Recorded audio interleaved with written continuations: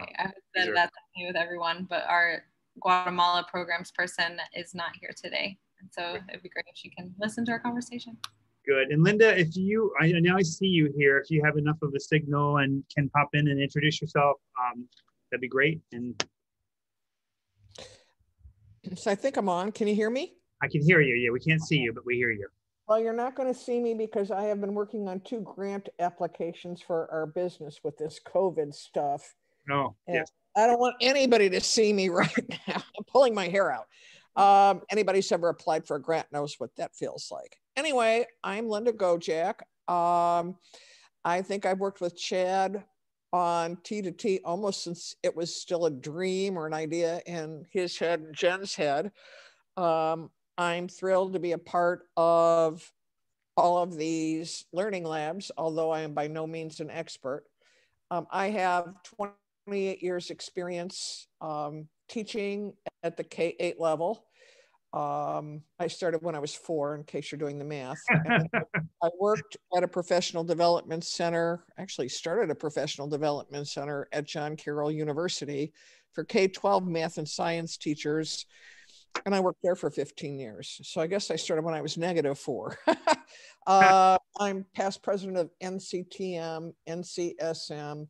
I still do a lot of consulting, mostly in local school districts, some writing. Um, and of course, what I enjoy the most is the travel with T to T. I love that. And hopefully, probably almost certainly soon to be uh, the board president for Teachers to Teachers. So that'll be exciting during a really dynamic year. So that's exciting for me. Okay, well, let's get started. Um, and I really just want to do like, what is the purpose of assessment? Um, you know, we could talk about like what it traditionally has been and then how that's progressed, or what did you get out of this this document?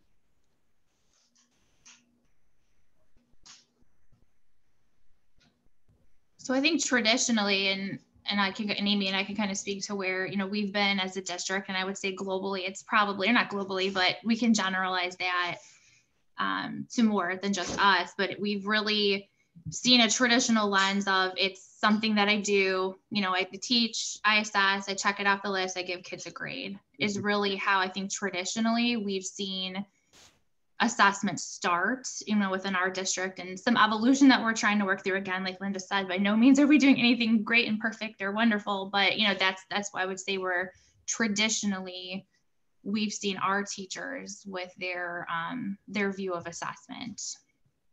It would, and you would say like 10, 15 years ago in your school district, that's what assessment really was?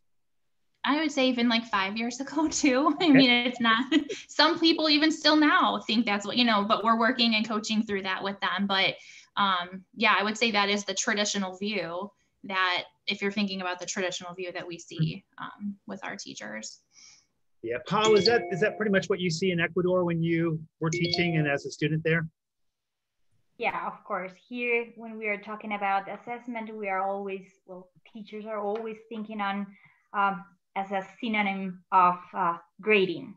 So whenever we are assessing, assess, how do you say that? Assessing. Uh-huh. Assessing. Okay. Yeah. Then you are just grading a student and with the only purpose of uh, promoting. So that's the main idea. And reminds me once when I was uh, working at the university at, at university here, one of the greatest university in Ecuador, and I um, had a workshop with all of the, the teachers at the university and the, the topic was that assessment and i started that workshop ask uh, writing on the board one definition saying that assessment has the only purpose of promoting students and i asked them well what's wrong here what's great here what would we change and i asked them if someone can raise their hand and say if they agree totally agree with this sentence. And I thought I, I saw most of them raise the hand. And we're talking about teachers at the university. Mm-hmm. So what we can see in schools are almost the same. Mm-hmm. Yeah, that's exactly right. But but um, I think this section has a much more sophisticated thoughts about assessment. What did you take away from that? Like, if I were to say now, what is, what is assessment? What's wrong with Paula's statement that she wrote? What would you say is wrong with that statement?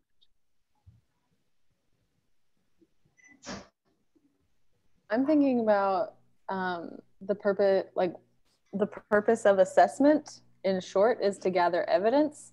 And then, but then what are we gathering evidence for is where the road splits. Mm. Um, and so thinking about it in the classroom, but also as we're gathering evidence about our programs for our measurement and evaluation of our effectiveness as an organization as well. And so, you know, is that evidence purely for accountability? Does this person, can this person answer these problems correctly? Does this program produce these outcomes? Or are we gathering that evidence to be able to improve what we're doing, to improve the teaching and learning, to improve the programs that ultimately imp- Im- will seek to improve teaching and learning in the classroom? And so thinking about it as, you know, um, even that that gathering evidence and Pal, maybe you can speak a little bit more about the portfolios that are happening as for assessment in Ecuador during the pandemic. And so the like the idea is really great to be collecting this evidence, but then what are they doing with the evidence is where it misses the mark um, and where there could be a lot of potential. And so recognizing that like what this innovative model of assessment has in common with some of the traditional models that our teachers are following is that there is a gathering of evidence, but maybe the way that we're thinking about doing that um, is more expansive. And then what's the ultimate purpose of it? Is it to say you go on to the next grade, or is it to be able to provide a higher quality education that the students are involved in the process along the way? Mm-hmm. Yeah, the way I read the this article, and I'm I'm reading it through this lens, which is so you know student centric anyway. Those of you who know me, it's all about student learning, um, to even the detriment of probably the overall program. It's more important that the kids walk away having a real understanding of mathematics and being critical thinkers, and that's a real focus of assessment to me. It's like how how many different ways can I help this student know more deeply? Um, but Maria, I'm interested in your perspective because you worked at a school that you know was funded through grants and and real accountability. I think you know that's sort of one of the the signature schools in our in our state. Um, and so, what was the role of assessment there? So just to let folks know a little bit about the North Carolina School of Science and Math is a public boarding school and it is totally funded through the state. The kids don't go to, don't pay a dime to go there, just the 11th and 12th graders. And we draw from across the state um, in various ways in terms of congressional voting districts and trying to reach kids at, in different places. Um, and so it's been kind of a lab school in the sense it started in 1980, but we have a dual purpose to serve the students there, the 680 juniors and seniors who come and live there, and also kind of spread what we learn there because we have a lot of resources in terms of supporting teachers. So um, we do a lot of professional development for teachers and things like that and work with the state.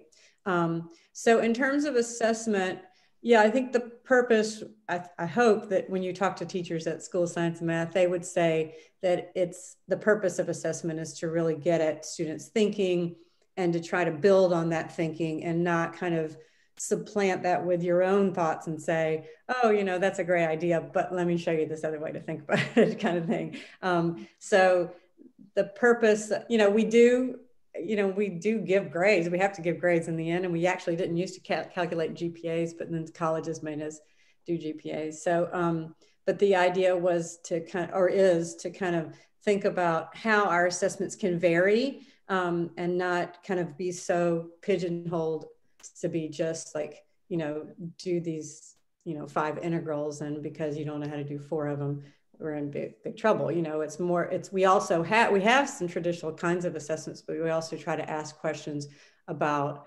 um, things like we try to do some projects once every term where the kids work for an entire week on a modeling problem and you know so it's kind of trying to get at the collaboration and the communication and the presentation of mathematical ideas, oftentimes um, in some kind of a real world context. Mm-hmm. Yeah. yeah. I would say like that's a really good point in like thinking of that shift then and that evolution of looking at assessment as it's a test to it's an action. It's not a thing, it's something that you do or students do um, has been like a big shift in perspective as well. Like, really, anything you're doing could be used as an assessment. Yeah. You could be observing students working on a problem, you could be observing discussion. Um, so it's just a shift in it moving from like a thing to an action. Um, I think has been like you're describing, like just even looking at the difference in in what that is. And when Callie was talking, I thought of when you were talking about evidence, uh, oftentimes we do have kids reflect on their learning. And I was thinking about how how you could think about reflection as evidence, you know, whether mm-hmm. it's reflecting on how these mathematical concepts connect to other mathematical concepts that you've learned, or, you know, how thinking through this problem, going back and thinking about the process of thinking through the problem and the problem solving process can help you build your skills as a problem solver. You know, that that's kind of interesting to me when you were talking, Kelly. I thought, oh, evidence. What about reflection as evidence? That might be kind of a cool thing to put in the mm-hmm. bag. Mm-hmm. you know, and I know there's some some discoveries that our teachers have noticed too, and, and it has to be um, working with so many different people. Um, everybody has a different background, and some teachers that have taught a really long time have a traditionalist kind of view, and they're learning and kind of changing with the times because we don't know what we don't know and we, what we've all experienced in our own learning as well um, but i have found that it's our own mindset. And so as i see some mindsets change then we start to, and if we're really really strong at reflecting then that we could get our students to do that as well and look at everything as that learning opportunities and really developing learners. Because i think if we're not reflective we're not really thinking of ourselves as learners. It's more of that, like Kristin mentioned earlier, the traditionalist with the, oh, check, we did that.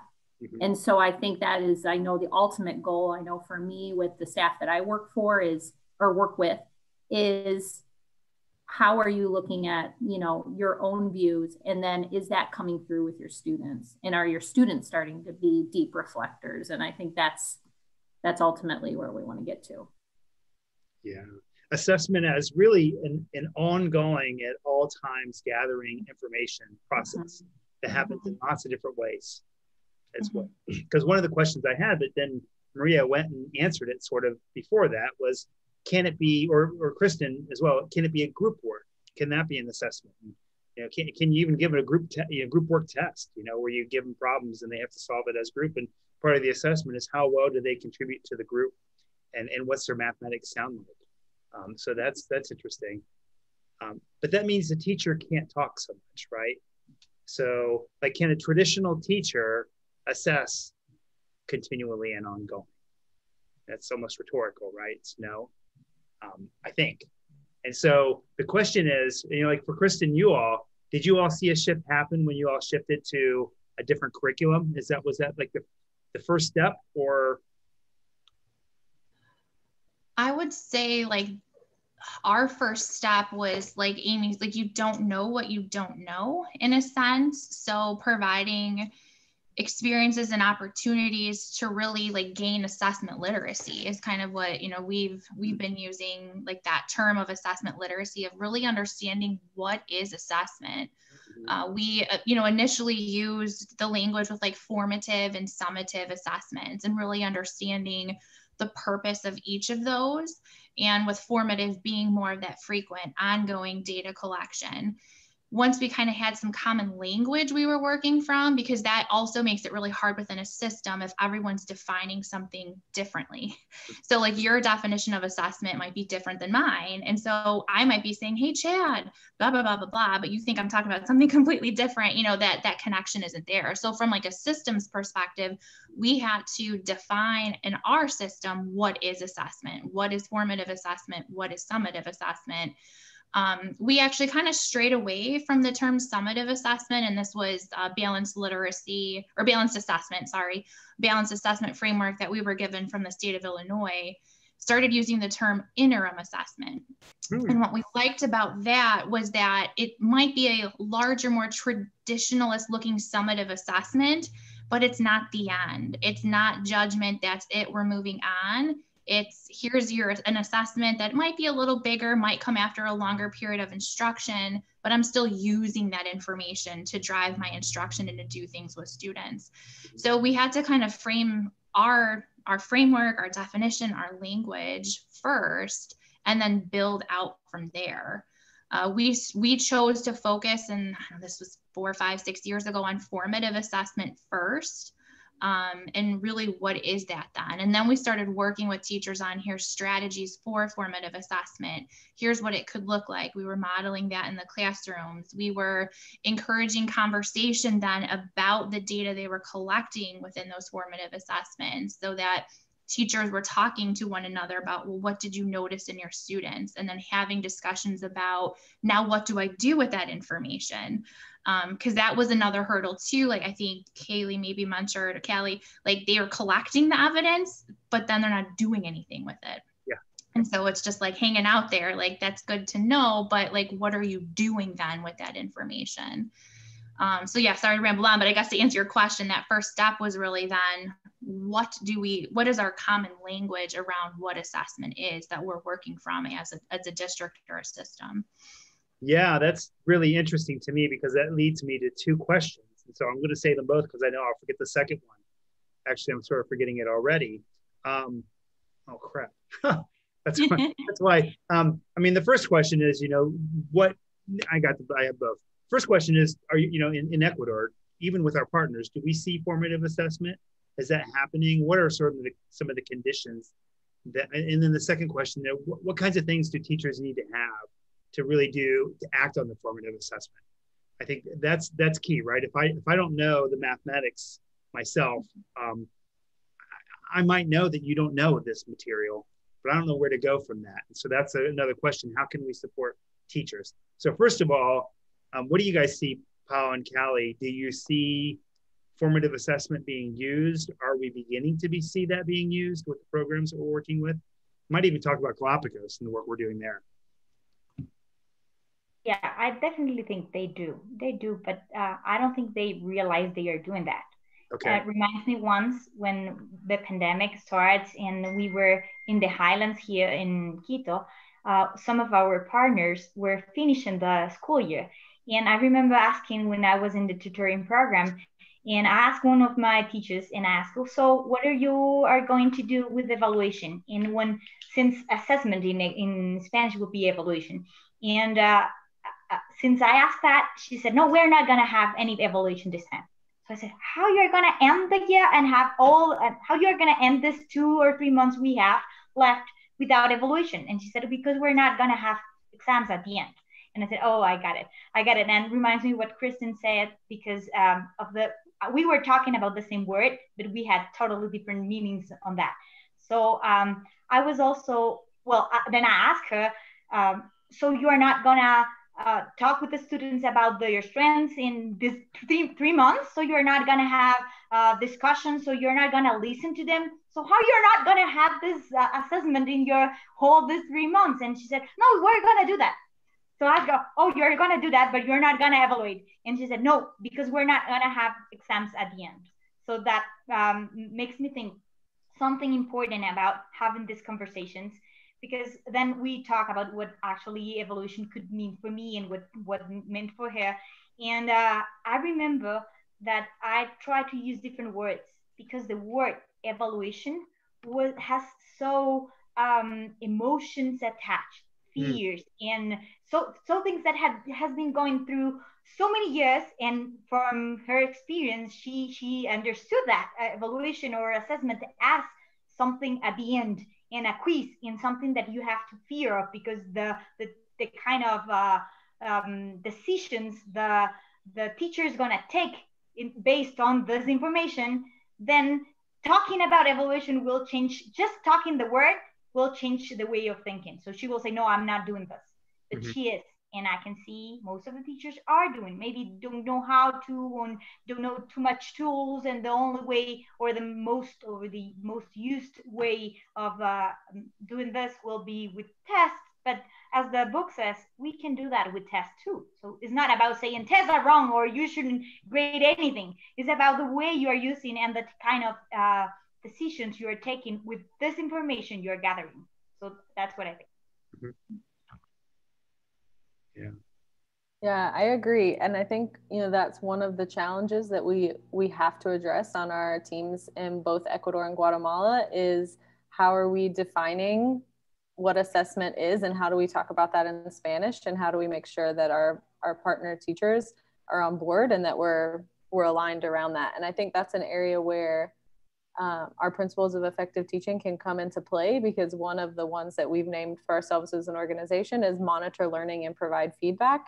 Mm-hmm. And so that gives us an opportunity, like as we flesh that out with um, with our teachers, and as that stands as one of the foundations in all of our programs, then that's something that we can explore with them and and ensure that we are getting to a common understanding of what we're talking about, and be able to then build out um, strategies and, and strengthen how that's going in the classroom, but first making sure that we're on the same page. Um, mm-hmm. that's yes. I think monitoring knowledge and what they're what they're gaining and and then providing feedback is a tough task to do, especially if I'm talking a lot. Um, what do you guys think about that? It, to me, it seems like you really need to be quiet as a teacher, really spending energy making their thinking and knowledge visible so that I, I can I can move forward from that. Is that something that you all see or can you do both to sort of talk a lot and monitor? Oh, I think it depends. Um, I, I mean, yeah, I I feel like if we and that this is what i love when i get to go into a classroom and teach and the teacher gets to just watch students. Mm-hmm. the amount of information i said this isn't about you know us big people at the moment. I want you to just focus on them because in the moment of all the things that we're managing in front of students sometimes there's things that we don't recognize. And i know i always walk away with teachers reflecting on just that how much are they taking time to speak and own the time or giving it to kids? And i think that's been something over time that is is something i know i've had to work on is the wait time and allowing kids opportunities to speak to each other and learning how to be a better listener. So i think it all depends and it depends in the moment like really what you're doing but that's what i'm recognizing anyway I, I think it's interesting too, Chad, your question about um, kind of monitoring that learning. I think a lot of it comes down to questioning, mm-hmm. right? So, how can we put some um, kind of open ended questions in teachers' bags to say, you know, mm-hmm. depending on what you're teaching? So, here are some specific questions that you might try to kind of open the, the floor to the students and then again, kind of what to do next, right? When a student responds, maybe you say, Tell me more about what you're thinking, because oftentimes we hear it and we know the mathematics and we know it deeply. And so we might kind of project our own knowledge into what they're saying as opposed to saying, Oh, yeah, tell me more about what you're thinking. Or, you know, I don't know. There, there, that seems simple, but it's, um, it takes time to kind of mm-hmm. develop that yeah. kind of dialogue. Mm-hmm. even that. Oh, sorry, go ahead. first, Kristin. Uh, well, even that strategy of being able to to dig deeper into the the tell me more about what you're thinking, something that Pau and I have been discussing lately too in the field is that in this transition, a lot of our a lot of our teachers don't have a very deep level of content knowledge about what they're teaching. And so then when they begin to get excited about like okay i need to ask questions and i need to have student voice in my classroom they don't actually have the confidence to respond to what students are saying. Um, and so then they just like will accept all answers mm. and just like say like um, yes great next. And they don't actually address anything that's happening there. And so I think being able to have tools like saying, tell me more about that can even just push the students to not just throw out anything, but be able to to support what they're saying. And so then the teacher doesn't necessarily have to have the most confidence in that moment about what this if the if what the student is saying is mathematically accurate or not, but they can push for the reasoning and be able to like hear what is the student thinking about and let the student themselves actually voice that instead of the teacher in that moment feeling the need to to um, to make a judgment of like was that a valuable contribution? Was that was there an error in that? Does that make any sense? Like because what we tend to see teachers do is to just um, ask a question. No matter what anyone says they say like excellent fantastic thank you but there's no addressing of it there. And so those simple tools of then saying next step is to say tell me more about that and then other you know to continue to build the conversation. Um, so like listening yes and continuing like there's more to build there than just yeah. saying do you listen to students? Do you let them speak? Um, particularly when a teacher might lack the confidence in in the content to be able to respond meaningfully to what students are saying. What can they ask then to be able to continue to move forward and and and um, generate more dialogue or discourse mm-hmm. Yeah. And I think in that That's moment, kind of where I was going to go. Oh, sorry, I, I, I, had, I had to piggyback off of Kelly because I think Me it's a too, Amy. Come on. No, okay. Sorry, Kristin. Sorry, we do this all the time. That's good. That's exactly I'm what sure you're probably going to say what I was going to say. No. no, go ahead. Go. I was just going to talk about vulnerability. No, go. You go. You go. No, I just I think it's making yourself vulnerable, and I and that's the thing. And you know, we as teachers, we're always thinking three steps ahead. Mm-hmm. And when we put ourselves out there, and I'm going to put something out there that's open ended, and I don't know what I'm going to get back, and I don't know how to plan three steps ahead, that's where we have to, you know, we have to become comfortable. And that's what I love when teachers watch each other or myself, or I can get in because they can see vulnerability and then maybe they'll feel a little more comfort. And I love that. Tell me more. Or I always tell students, can you prove your thinking to me? I tell them to be ready to prove their thinking. So then it's not just about, I'm just going to throw something out there. Even our little kindergartners, you know, we prove our thinking, we talk about it. And some days it's really easy to have a conversation, and some days you feel stuck yourself. And what that's just what it's all about. Mm-hmm. All right, Kristin, was that what you were going to say? no, so good. uh, I was just going to bounce off of what Kelly said too with the content knowledge. I think that's another piece of all of this too is having clarity in what you are actually looking for from students because mm-hmm. you really can't assess it if you're not clear on like what you're looking for. Mm. Um, and I think that's another piece as well in in this whole process is a teacher feeling confident and I am clear on these are, this is the thinking I'm looking for, this is the learning outcome I'm looking for. And taking some time to really think through what does that look like from a learner to get from where they are now to that point to help in pinpointing like what's the thinking I'm looking for, what's the observation I'm trying to make. Because if you're not sure, it's really hard to assess something that you're not sure of where you're trying to go in the end. So I'd say that's another kind of piece too of building in that process of clarity in the learning intentions, the learning targets, so that you know you're designing an assessment. And again, I'm using assessment very loosely. Could be a task, could be paper pencil, could just be a question, but you're designing an assessment that allows you to get what you need to know about your student in relation to that, that learning intention or learning target. So how do we do that? Um, mm-hmm. Um, if the teachers themselves don't quite have the content knowledge. I mean, the very first class I ever saw, the kids had to follow the example exactly in the book because mm-hmm. um, if not, the teacher wasn't sure that they were doing the correct math. Mm-hmm. Mm-hmm. I have an idea, but um, I want to hear your thoughts too. All right, Amy and I could kind of speak to like things we've tried or trying in our district, and this is specifically to math. Mm-hmm. Um, Amy, as an instructional coach, has been very instrumental in this in the buildings and supporting teachers in the planning process with mm-hmm. math specifically. And we've been utilizing backwards design, UDL, whatever you know you want to call it, but really thinking through that three, those three steps, and really thinking about um, a unit or lessons of your first step of really defining your learning targets or your learning intentions. And that's where a lot of that conversation comes in and, and building the content knowledge and the understanding of the learning you're going for and what that process looks like along the way.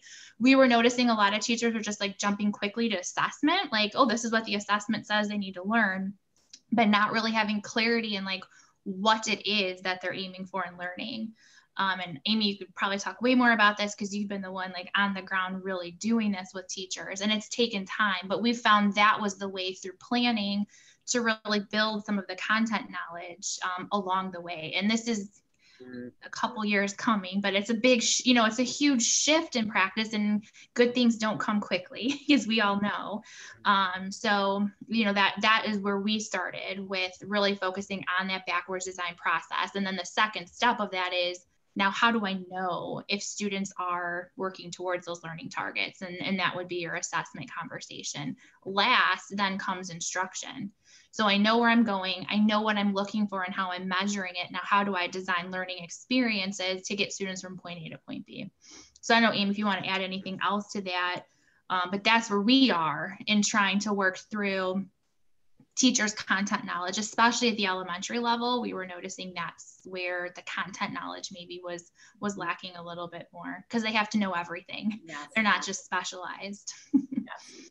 and and that's really i mean kristin explained it beautifully i have to you mean from my own experience you know we we we jumped in we're going to do this grade level planning and we and i noticed i'm getting in teams and we couldn't really get like kristin said we couldn't really talk about the instruction because we had to, we had to learn.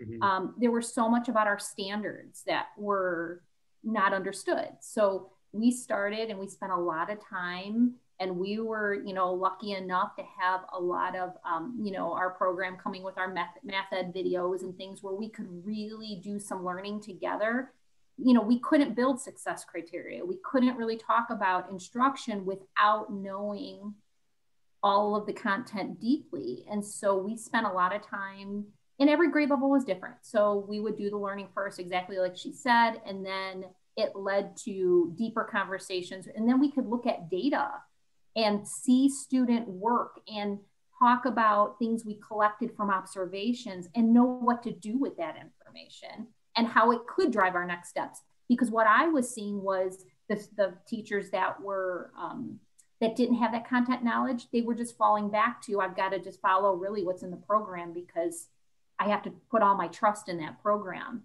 and follow what it says. And then it then that just leads to, you know, lesson one, lesson two, lesson three, test, lesson four, lesson five, lesson, you know, and so on. So yeah, we really wanted them to understand why they were doing and, and we do follow um a curriculum program. Mm-hmm. We do, but I mean, we don't read it word for word, or we encourage people not to, but they need to know why they're doing what they're doing for it to actually come come to life. And and we're fortunate too that the program that we do use has a lot with building background. Um, they do have like videos on the content, and like so we have those resources at our disposal to help us with that. So mm-hmm. like we're not having to make that up all the time. There's a really great like research into practice part of it um, that just gives background on the content and why you're doing what you're doing. How does research support that? Mm-hmm. Um, so that's been really helpful in building that ahead of time. Um, yeah, mm-hmm. and I mean I know it's not necessarily assessment specific, but again I, I will reiterate the importance of knowing where you're going to be able to assess that properly. Yeah, Maria, what are you going to say? I was just going to ask um, Amy a question about um, because you mentioned the video. So, what is the curriculum that you're using that has these support materials? Um, we use Origo. Say it again. Origo. I'm sorry, Origo. O R I G O. It's K through six. Okay. Mm-hmm. Yeah, that's how we met Kristin. Is through the CEO of Origo. Yeah, and like Kristin said, there's so many things embedded, and what's beautiful about it, it's it's you know with the elementary school teachers having to know everything we have to know we have to know everything and sometimes not masters of any because we have to know so much um, it's it's a just enough you go deep enough and it's i don't want to use the word short or you know but it's it's enough where they can manage taking in that information little bits at a time and not feeling overwhelmed on top of everything else is there something like that available in ecuador or in in other countries, Chad, that you might have worked with that might support teachers in terms of building their content knowledge? Yes, yeah, so Origo is, is available in Spanish. Um, so what and, and James has offered to give us a lot of licenses uh, for free. So what we need to do is establish where that will be effective and how that will be effective. And I think that's that was something we were working toward this year until things got changed pretty dramatically. Mm-hmm. So I think we'll pick that up again in the in the future. But I think that's a that's a great great resource. The, the, the key, one of the key components to this is collaboration, though I hear. Um, and that's something I think we need to work with in, in Ecuador and Guatemala is to get teachers to buy into the idea of collaborating. Is, would you guys agree with that? Or how was that for you, Callie, in um, uh, Hope of Bastion? Um, I have my mind started going down a. a oh no! Sorry. A different path. So, for how is it going with teachers? Hope of Bastion, yeah, collaboration between the teachers. Between the teachers. Um,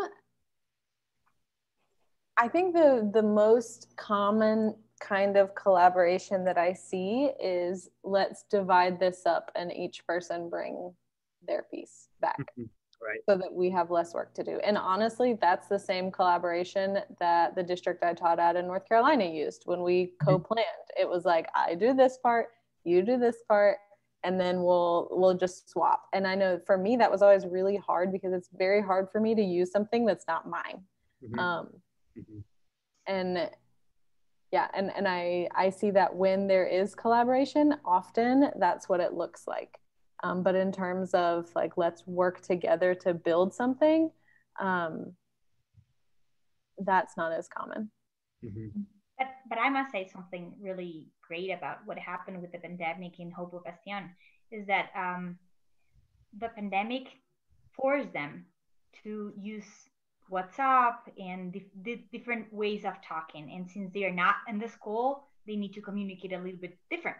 So I've seen that they, with uh, with our support when we are having these workshops, they told us that it was the first time they are sharing even emotions. We are still not in the part where they are sharing uh, about how they teach and strategies between um, math content. They they haven't reached it that yet, but they have started saying, "Oh, I'm afraid," or "Oh, I have problems with the kids." And then we've been realized that when they are saying, or one of them just uh, encourage herself or to say something, then the, the rest are, oh my God, I'm feeling the same, or oh my God, I'm having the same problems. And I think that's the first step to collaboration because if they don't know each other, then, then how, what are they going to talk about or, or to try to, to feel that they can actually work together instead of compete. So I think that was the first step. We are we're there. We've seen a change a lot in the Hope of Bastion with that because they now feel feel comfortable when they are talking to each other, and that's the first step. So I think that's something great that has been help happening in mm-hmm. and Hope Bastion. Yeah, you're spot on. That's the first step. They have to trust and have a relationship for any of that, you know, to work. So kudos to you for trying to foster that and find the silver lining in in the pandemic. yeah, that's a way that we'll be stronger. One of the things I got from watching Linda's workshops in Galapagos and uh, working with Susan Frio was how important it is for me to be able to say, I, I, I see what you're thinking, or I understand where you're going, or what you're doing. And then as I was working with that, I realized that I sort of have to erase my knowledge of, mm-hmm. of what we're doing. I want to know everything that's coming into the topic. I want to know where we're all going. But that circle of what we're doing today, I sort of try to erase that knowledge and rebuild it with the students. And if I do that, that pushes me to ask these questions like, why is, you know, like in, in El Paredon, kids thought that angles always started with the ground as a parallel line, a line parallel to the ground, and nothing else could happen. And so I was able to, I even understood that because of the questions and the fact that I had erased my knowledge. Otherwise, I would just assume they understood that those both those rays were forming an angle. Um, and, and, that wasn't the case. They just thought one ray was forming the angle based on wherever it was to the ground. Um, and, and I think that's that doesn't happen without saying that. The other thing that's important about sort of erasing your knowledge is that that means that sometimes the teachers doesn't have don't have the knowledge. I mean, in El Paredon, again, um, I remember doing a fraction activity with the high school teachers, and halfway through, one of them said, "Oh my gosh, 4/8 is the same as a half," and you know they're teaching high school math, but that was a discovery they had just made. Um, they knew they were equal because they memorized it, but they didn't know they were the same, and um, and so, you know that that's that's the starting point. We get them collaborating. That's a great point too, because my takeaway from today, Kristin, was how important planning is in assessment. If you haven't planned properly, um, you can adapt if you're a really quick thinker, but um, that really puts a sort of a, a handicap on where you're going. I think what you said, Chad, right now is really powerful, and we we when we are talk we're working with teachers here. Um, it's important for them to realize that sometimes it's okay to not knowing yes. and uh, because that's the first step in order to say no i do know and create something invent something or just say that the, the kid is wrong. That's the common thing. You're not doing it well because you're not doing the way i am used to do it. So realizing that is a great step. And also feeling free to say that i'm okay. And something that has also um, going on when we are working with them when uh, teachers are uh, looking at the principals or the or us saying that as a modeling oh that's great. I didn't thought on that or i didn't know that. Let me check and i'll we will talk about this later. That's something that they can see. Oh uh, so i can not know too. So that's great. And i think that's a great way to start because we have a lot of teachers here that does not know math very well or very deep. Mm-hmm. so it's really hard to get into this whole knowledge of math content when they are teaching while we're trying to them to uh, start thinking strategies to teach so we have to work with them both great strategies and also math content that is really really low level levels of math content so mm-hmm. since we don't have the time to have to, to get it deep in the math content we have to do it and, and while we are working with them so it's great for them to say whenever a kid is saying something you don't know just say it. I don't know. I'll check it out and then I'll be back. And mm-hmm. you can go back to us and say, well, this kid say this. Instead of saying, oh, that's great, and even it's not, or saying, no, you're wrong, just give a pause and say, it's okay. I don't know. Or maybe let me think a little bit harder and I'll be back. So I think that's a great tool too. Yeah, I love that. Powerful for the kids too. Think about that to go, oh my gosh, I helped my teacher learn this thing. That's awesome because they start to learn that their knowledge is powerful and valuable. I, w- I want to shift just a bit because I read in this section that it's not only about understanding the student thinking and and I'm going to say helping them deepen their learning, but it's also about assessment is about evaluating the system, and that's the teacher, the curriculum, and that's pretty much the two big things for the system. It might even be evaluating, certainly in our process, in our in our context, things surrounding the students and how those are supporting learning. Um, and so what kinds of things, I mean, how, how do you, how do you evaluate a teacher without just looking at student test scores? Um, and how do you evaluate is a curriculum effective? Or for Allie's sake, is our program effective if we don't say kids do this and then they do better on the test? Because that's the way people are expected kinds of things do we look at besides tests for that?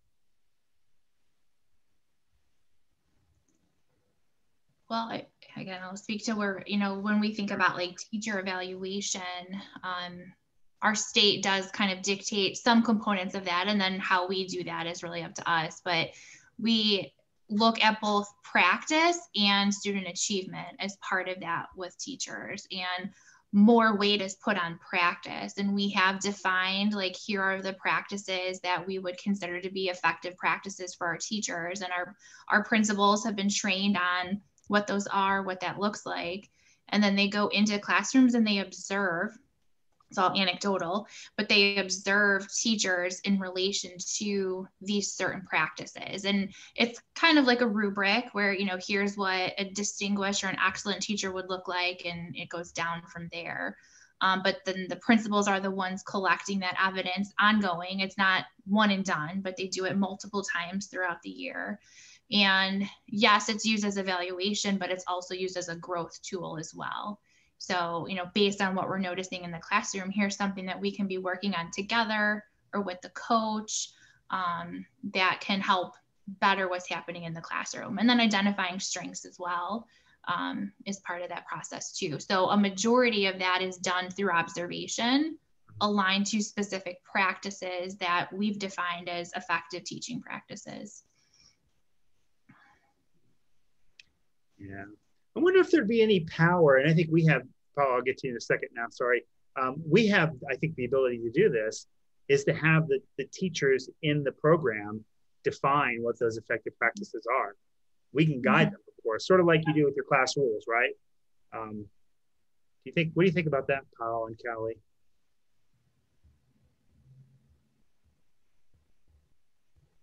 Do you think they could do it? I I think so. I am always in favor of believing in the potential of anyone that I'm working with, whether that be students or teachers. And anytime I find myself saying, I don't think my teachers can do that, I'm wrong. Mm-hmm. Um, mm-hmm. and so that, yes, I do think that they could that like we have to honor the professionalism like we have to honor that our teachers are professionals and it doesn't matter if you know in guatemala a, lot of the teachers have just come out of high school well they're still a professional and they're doing something in the classroom so they know something they have something to contribute something to offer and they also have the brain power to be able to sit down and reflect on it and think about it and and like come up with something that is good and and valuable.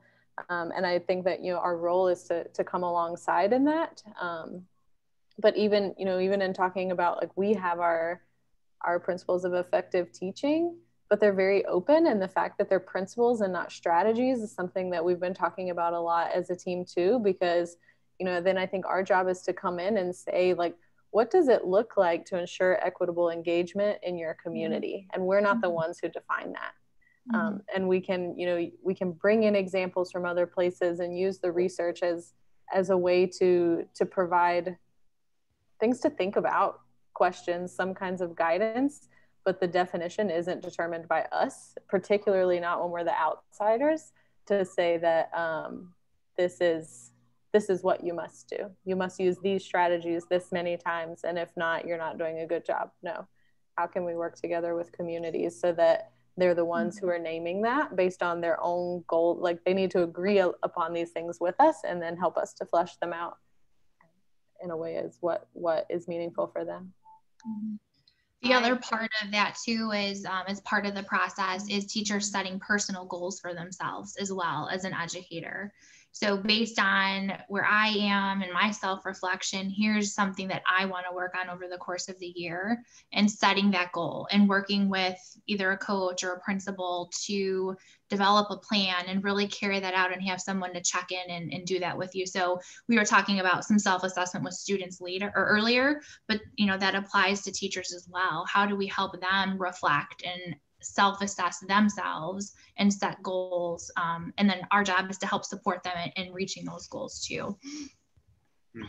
That reminds me of something that came up in after our first year of our girls STEM club. So we had five teacher leaders in a school who led alongside with me a girls STEM club in Guayaquil. And um, something that was really interesting and that I didn't expect, but that I can kind of make sense of that came out of our teacher surveys from that is that overall the teacher's own um, confidence about their ability in teaching math actually decreased after their first year mm-hmm. of experience in the club and it reminds me of mm-hmm. of what you said earlier kristin about how you don't know what you don't know and so like thinking you know coming into it maybe the teachers had never had an experience before that challenged the way that they were teaching math mm-hmm. and so they were mm-hmm. like this is i have my book i can answer these you know we can do this and then after having this other experience of what it could look like then all of a sudden their confidence was a little bit lower and thinking like do i actually know how to answer my students questions and guide them like there's this new way now and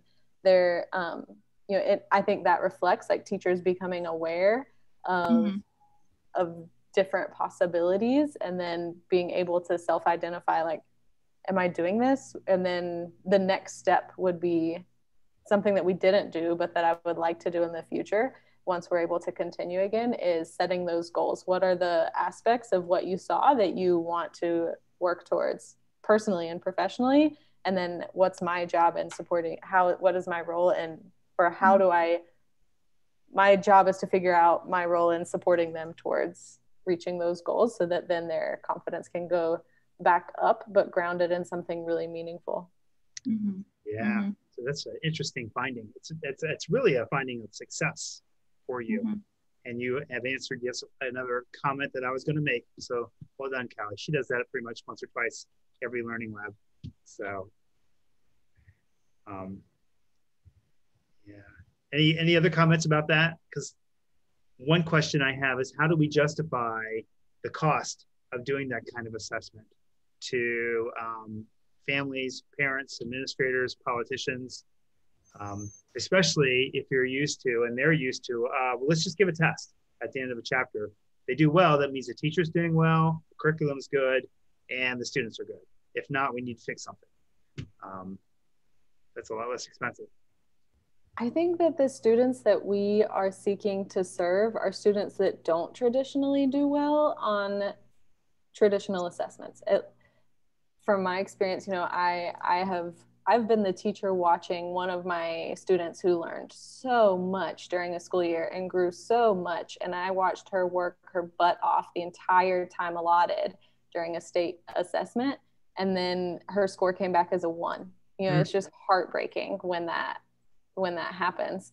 Um, and I also don't think that the answer is to just throw out the tests completely either. Mm-hmm and i'm really encouraged when i see like i use um, my friend donnell cannon as an example a lot he is a principal in the state of north carolina and he was um, he's doing really innovative things in his school district in, in, in edgecombe county north carolina in a rural community where um, his i don't remember exactly what the numbers were but when he came into that role i think that the proficiency of the school on the state tests was like 16% or something like that. And in his first year there, he just, he really has innovative ways of sharing accountability. Like one of the pillars of their school is everybody owns everything.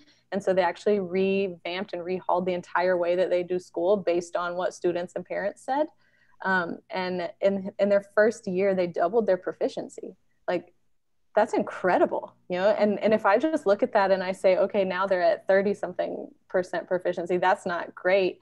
But to double and to to move to make that much progress on the the tests that count for accountability you know and here in in the literature as well um i highlighted it. Let me see if i can find it really quickly. But like using effective teaching practices and achieving success on account- accountability assessments do not have to be perceived as mutually exclusive. Like students do better on these accountability um, assessments when effective instruction that includes formative assessment is is there. That is the most effective test prep strategy. Yes, I, I think about that um, a lot too. Mm-hmm. Like who's centered? Who's centered there? Is it the test itself or is it the well-being of students and, and our students have the potential to be successful against the odds when we provide the instruction that that they really need mm-hmm. that reminds me Callie would we um, the conversation we had about the Galapagos Conservancy and the institutes and when we have experts that really understand what math uh, teaching is that um, we have the problem the, the big uh, difference between what the teachers does in teachers do in classes and what the, the experts want them to do. And so this is uh, so high so different that just pretending that you should do this is not getting them to from here to here. So bringing them hmm. and saying actually they are not from zero that's something also i, do agree with Callie. We're not saying you do not know anything. You do and we are going to empower you but you, we want you we want us to help you to reach what you want but sometimes they don't know what you want what they want so uh, reminds me once when um, I was having a conversation with a, with a teacher and she said, I'm so mad with the children because she, she cheated on the exam and she was about to say, she, I'm gonna just um, put a zero there and I wear, I'm gonna fight with the mom and say the, the, the kid is wrong and uh, there's nothing will change my mind. And she was so furious and I talked with her and then I, I asked why are you furious? And what what happened with you? And what what what do you want? What would be the best for her? So you want her to feel bad and do not do anything or what do you want? And she said oh well, I really want her to to change. So do you think what do are what you are doing will change her? Or will just say oh I have the zero that's it uh, that's will that was what you are doing will change something? And she said no. And then so let's go back. What do you want? In asking that several times and then asking what she deeply want, then she took a different path and talked with a girl and give her the opportunity to change because that's also we we talk about if you're not letting them change so does not work the the assessment is all about having improvements in the education and having the children's grow if that's the, if the assessment does not work for that then why is that? What is that for? So i think getting these conversations reflective conversations with teachers and make them uh, understand what they want because it wasn't wasn't me saying you should want this. I was actually saying to a teacher what do you want for this kid? And why you are doing this? Then coming back is not about the grade it's not about having this uh, problem with the mom it's about she the, the the student growing and learning and actually understanding what she was teaching. Yes i like that i like that quite a lot. Um, I, what i hear from both of you guys is is it, it's important that the teachers have a knowledge base um, from which to begin. Because every time i visit a school in guatemala and ecuador uh, frankly most places the first the kids first of all are glued to the teacher. Callie, you probably noticed this right? The classroom behavior is much more like focused in those countries than it is in the US. But every teacher says, how can I get them to pay better attention to me? And part of getting them to pay better attention is by getting them to do more, right? And, and you can't really know what how to evaluate yourself until you know that. Because if I just came in and said, "What do you want to? How how do you know you're doing a good job?" They would say, "Because no kid is talking and they're all staring at me." That's not that's not a good classroom, right? So I like that you're doing it. Kristin and, and Amy and, and, and, Maria, really, how do you talk to parents and, and, and politicians about assessing in a different way? You know, especially those who are really steeped in tradition and think they know what's going on. You're saying, I need to put energy and we're going to shift into something that you, didn't learn the way you learned, but this is what we're doing. What are some key components for that for you all? I could talk a little bit about kind of the spiel we give um, parents when they come to, to campus on Parents Day because you know they know it's a special opportunity to be, to be able to go to school and they've heard already a little bit about the classes and stuff. But I I think about kind of offering students more open-ended problems that sometimes um, they don't really know how to solve yet, right? So we use the open-ended problems as kind of an opening to oh, this is a curious thing that I really want to know about. And so to know more about it, I might need more mathematical tools in my tool bag. And that, but that can be frustrating at first, right? So kids will say to me, well, I've never done that before. And I always go, yay, that's good. You've never done that before. you know, and because they've always been given things that they've done before or somebody's done for them and kind of illustrated it for them, right? So I say that to the parents. I say, well, when you go to a job, do they tell you everything you have to do before they ask you to do something? And they all go, no. And I'm like, well, that's what we're doing here. We're kind of opening the door, getting them curious, and then they'll go, oh, wow, I need some more stuff. But it's a good day for us as teachers when our students are begging for more math, right? But it's because we've opened the door instead of teaching you everything you need to know and then asking you to do something. And also, teaching you everything you need to know and you don't know what you're learning it for is not very conducive to learning or kind of sparking curiosity. So that that tends to work over the years is to try to use that analogy of, you know, let's let's kind of just explore things together. And as we explore things, then the learning becomes more cohesive and building of knowledge happens. So Yeah, you can tell. even Go ahead. Oh, I'm sorry.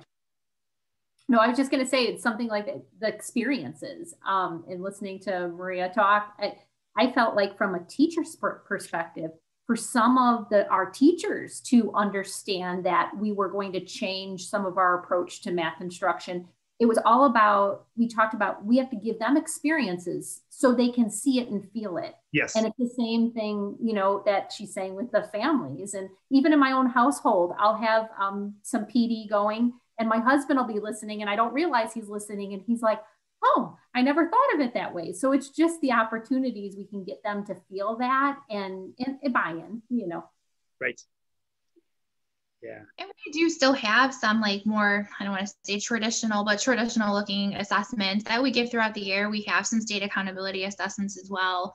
I think the piece with that that we get some pushback even from students too is those are always coupled with show us your thinking, explain your thinking. Like we're always trying to emphasize it's not always about the right answer, but it's also about the thinking as well.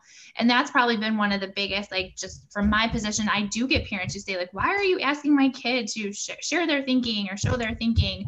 But really trying to work with families on understanding the value of the thinking that goes into eventually, if you want to say getting a right answer or getting an answer, like we want to know what that process is right. um, as well. So that, you know, has been some education as well of making that shift to just okay we yeah we want to know what you would say in the end what's your answer but we see so much more value too in the process and that thought process behind it as well. Kristin i think that's so that's one of the things i wanted to mention before we get into the next phases um, look our kids look i would like to say that when kids are in my class they were experiencing the best possible math class they ever could have. And it's a mm-hmm. huge drop from my class to the next one probably not the case, but that makes me feel good. Um, but I have to also be aware that at some point, my kids might very well get a multiple choice test, or they might get a teacher that only lectures. And so I did build in lecture days. Frankly, to be honest, I would like go. Today's a day you guys are going to lecture. We're going to talk fast, and you have to keep up. Not because that's what I think, but because you're going to see it sometime. And you know, they'd be talking. What did you just say? I don't know. And I'd be like, "Can you slow down?" I go, "No, talk to someone else." And partly because I want them to sort of practice some of these skills.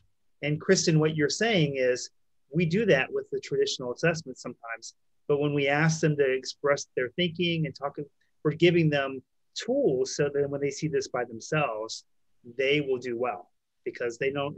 We just assume people are going to figure that out. Right? How many times do we just assume kids will learn how to take notes and kids will learn how to lecture, listen to lectures and take multiple choice tests, but we never talk to them about how we do it. Um, and mm-hmm. I think mm-hmm. that's really valuable. Yeah. And we've really like we locally can construct the assessments that I'm talking about, like our local, more, you know, summative in nature assessment, And so with local control, we do, you know, we don't really have multiple choice, but you know, and what it looks like, I guess, would be more traditional. Um, but we've taken time to really talk through um, a little bit different than maybe the cognitive demand you've had some conversation on, but we've talked through cognitive demand and the type of questions that are on our assessments. We've done analysis of our assessments as well of like what how many level 1 questions do we have and what is that saying we're looking for students. And so really taking some time to analyze the assessments we were giving to our students to ensure that we do have a balance and I don't mean like, you know, balance balance, but that we are we have questions on our assessments that allow for students not just to show like rote procedure and memorization or instant recall of something, but there's opportunities to have real life problems that they're working through, opportunities to explain their thinking, to model something on a number line. You know, so we're really, we have really tried to, because we need to, we have to do that through our district, like, but we have control of what that looks like. So how do we, analyze that and really construct something that is not just a multiple choice what's three times 5 mm-hmm.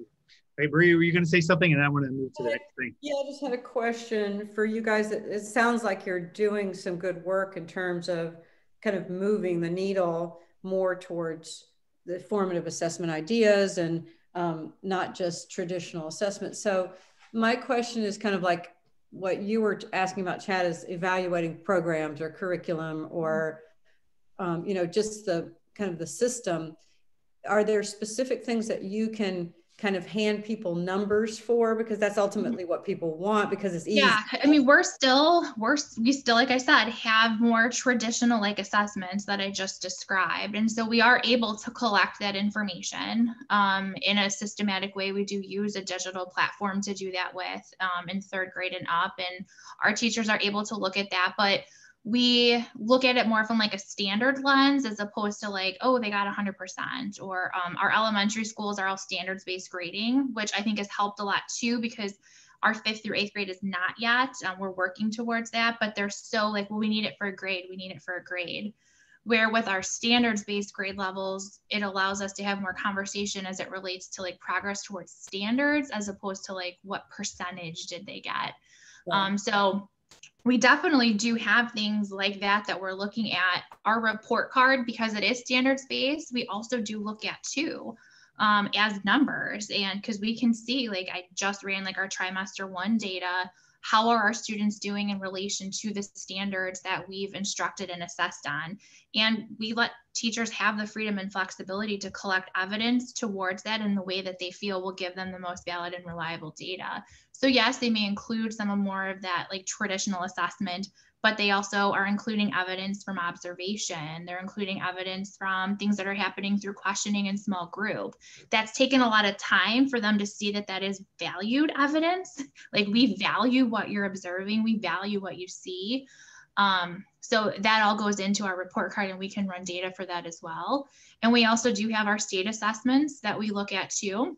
And, you know, I, I don't throw that in the garbage. I think that is one piece of data in a bigger system of data. And so my questions are always like, is this in line with what we're noticing with our other assessment systems? Is it an outlier? If it is, why? Um, so we have all those pieces too. It's just a matter of, I know you hear like the triangulation of the data or looking at multiple pieces of data to really say, like, what is this telling us about our programming? Um, and we're fortunate to have, you know, those different data points or those different assessment systems. But we do, we still do have, you know, the more traditional data as well. That makes me think about too, like the the importance of having that conversation transparently with mm-hmm. both teachers and teachers with their students and like these what am i modeling value in as mm-hmm. assessment and because it wasn't helpful for my students if I put all of my weight behind the state tests. Um, and it also wasn't true or helpful for them if I said they don't matter at all. And mm-hmm. so it was talking about like, you know, this is one number and it is not a number that defines you. This is why mm-hmm. this exists and we have to do it. And so we're going to do the best that we can and it's not everything.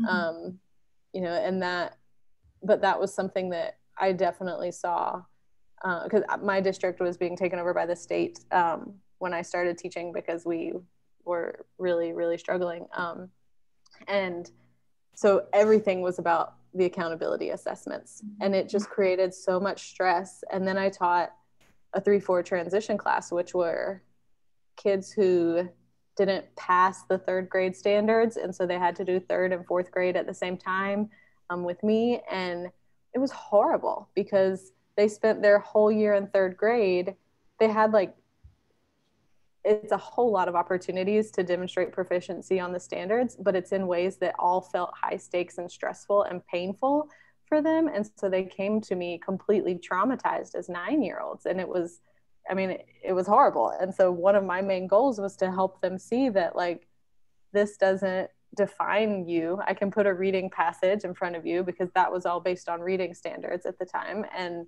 you know, we can read together and have fun with reading and you can you can grow in this. And like nope unfortunately we had these portfolios where they had there were 12 standards that they had to demonstrate proficiency on and on like 80% of this and they had to have three to five passages that they passed for each standard. I mean it's just a ridiculous amount of like multiple choice work for really young kids. And they had failed the portfolios and the state tests and then the state retest and then the read to achieve test the year before. And so then they had to do it all over again. And so there was really a like we couldn't throw it out. It had to matter for them but there was like they needed to see from me like what that was for and um that that wasn't the the only thing that we were looking at. Um, and that i think is something that we can model for the teachers that we work with and that that then they can model for students. Because here in ecuador too there's very high stakes tests like the the ser bachiller test that students take when they graduate high school determines if you can go to a public university for free or right. not um, and which ones you can go to. And not only that but which majors can you choose? And so like that's one test that determines the rest of your life basically and mm-hmm. um, you know we can't just throw that out and we can't ignore it but also we can demonstrate that like a different attitude towards those kinds of assessments. Mm-hmm. I, I want to say something.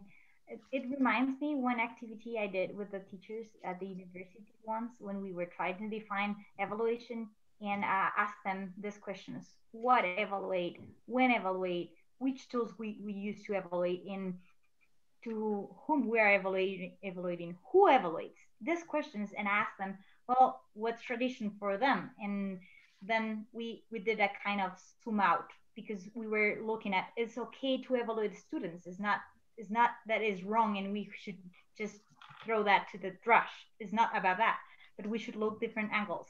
And then we talk about when what what evaluate and we are talking about uh, content. And then we we just did this kind of zoom out saying, well, content is okay, but it's not the only thing we're looking for. We are also talking about um, competencias. Hmm, competence. Mm-hmm. Yeah. And uh, we talk about abilities and we talk about attitudes. So we talk about a lot of things when we talk about uh, with which tools we can use. And they say, well, homeworks and tests and it's okay to have in homeworks and tests but let's look at different angles too. Let's zoom out a little bit more and, and look at observation tools and rubrics and and projects and and different different tools to evaluate. And then we talk about to who who is evaluating. And they said teachers. Teachers are the only one who will evaluate. And then it's okay for teachers to evaluate but what about asking themselves to evaluate? So we were talking about auto evaluation. And then what about uh, asking other students to evaluate to, to the peers. So we're talking about co-evaluation. So we talk about this kind of zoom out when we're talking about what traditional evaluation would be and going out and say who is evaluating to whom we're evaluating when because they they think well it's good to evaluate at the end of the period and that's okay to have an evaluation at the end but what about in the middle and what about in the in the whole like a, a continuous process so talking about that or um, building things around what they already have was uh, easier for them instead of saying what you're doing is totally wrong. We can build from what you're doing. It's okay, but let's look a little bit. Uh, let's give a, a, step back and see what what else we can do. Yeah. So um, since we have we have about ten minutes left, or nine now, um, and one of the things I I had fun with my end of chapter test basically my sort of summatives, and they became more than just that. And um, and then we've worked with um, some of our partners. Have one of our partners in particular um, said we need our kids to do well on the multiple choice test. Just period. That's it. And and that's the thing we want to focus on. And so I was trying to think about how we can help them do that. And we came I came up with some strategies for taking or presenting tests that are I think different that maybe make them that give more information or make them a learning, mostly make them a learning opportunity for the students. And so I also, maybe you all have some things too, like here's what things we do on tests. So I thought I'd offer a couple ideas and then throw some things out for you all and hear your feedback too, if you guys are good with that. Um, one thing is for the partner with the multiple choice test, um, I think we can make those number talks. That's what I used to do in, in my class. So, you know, when we take a test, so it's fine to give, you know, let's just do this problem and there's five options and then let the kids work on it, but not tell me the answer C, but talk through the entire thinking process. Because to be honest, on some multiple choice tests, you don't need to know the math between that they're looking for. If you know other math tricks, oh, I know you've done this, right? You go, I don't, I just know the factors are going to be positive, and these are the only two factors that are positive. So I'm going to choose this one. Um, so what are those tricks, and how did why did why are those tricks work? I think there's real power into talking about that and having other people in the class understand. Is that something you guys have ever thought about or, or done? Be interesting to do research on it. Amy could probably speak a lot about number talks because that's something I know she does a lot with teachers. Yeah. sorry, Amy, to put you on the spot. But. No, I mean, I mean, I feel like it's not. I feel like the number talk piece is what leads to what you're speaking about, Chad. Yeah, honestly, exactly. in mm-hmm. being able to justify what it what would be incorrect and why, and what would be correct.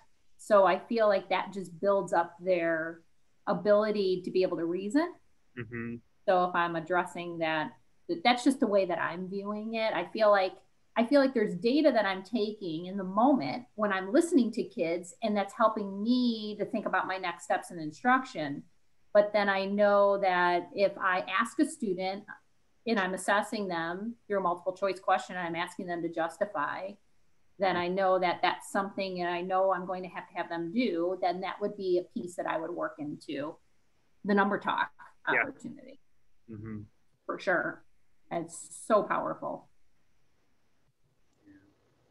So another thing I would do is um, after giving taking the test and grading them, I give the entire class a blank test with their score. No one ever would ever get a hundred, or if they get a hundred, I talk to them. But then um, I would their task would be to turn in perfect tests, and so they could talk to each other. And that was really interesting because then we'd have debates because someone would go, I got a 94, I think I got it right. And the person would go, No, I'm sure my answer is right on this one. And then they'd be talking about why it was right. So on the one hand, they're they're assessing their own knowledge and evaluating what other people say. So I thought that was a pretty fun um, way of reviewing tests as opposed to me going, oh, the answer to number five is you know 22.3. Um, so that's something that I did in my classes. That was sort of fun. That was what? one of the things that we did because we had like benchmarks that we were able to to use um, that were similar to the state test that came from a, a contracted agency, but we could use them for instruction afterwards.